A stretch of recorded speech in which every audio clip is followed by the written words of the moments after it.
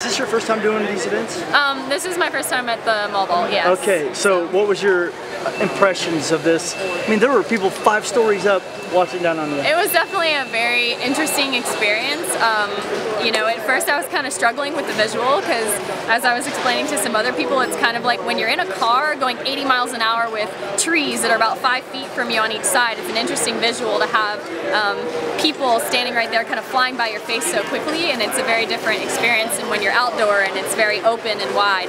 Um, but once I kind of got used to the visual of it and was able to kind of pull myself together, I put up some good bars and um, I had a blast. I mean, it was so much fun having everybody right there cheering for you. They know your name, they know what's going on because the announcers did an awesome job letting them know who we are and what we've done in the past. So it was it was awesome. How does it feel to win your first mall marathon? Oh, it was a lot of fun. I mean, I came out here just hoping to put together some good bars and, and give the crowd a good show, and I'm glad I was able to accomplish that and um, have a good time. The atmosphere is so unique compared to a stadium. I mean, there were guys in suits and women in stilettos going to the post office and getting off work. What do you think of that?